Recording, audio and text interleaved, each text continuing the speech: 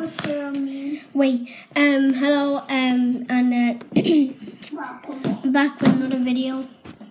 She's in my intro, even though she doesn't know how to say it properly. Top okra serum. She's talking Irish. I'm hungry.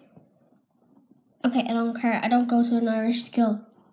Ta. We do. Yeah, cool. I don't. Ta. Ta tar serum. I'm touristy.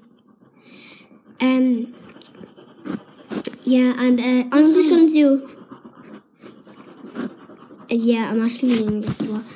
Um, and I'm gonna do a few shout outs. Tar serum. Keelan Atkinson. Killing. Sophie. Well, that's not. That's like his real. Ellie Mae. Layla. That. That's not her name, Ellie Mae. That's not her name. That's Her name's cool. Ellie. Yeah, just Ellie. That's all. Um. uh, Keen Rowan. Ellie too. Ellie too.